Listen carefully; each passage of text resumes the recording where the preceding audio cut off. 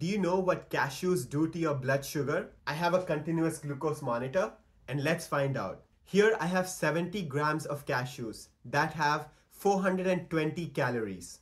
It has 30 grams of fat, 12 grams of protein and 23 grams of carbs. So this is a balanced snack that is high in protein and fat but low in carbs and literally no sugar.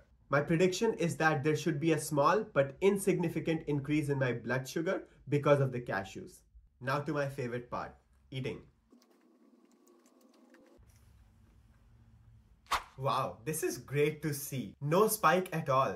My glucose level stayed constant for the next three and a half hours. This is because cashews are rich in good fats and protein, which can help stabilize blood sugar. They also have lower carbs in comparison to other snacks. This makes cashews an amazing snack option for those wanting a high energy level because cashews are very calorie dense but still avoid the sugar crash. Follow and see you tomorrow.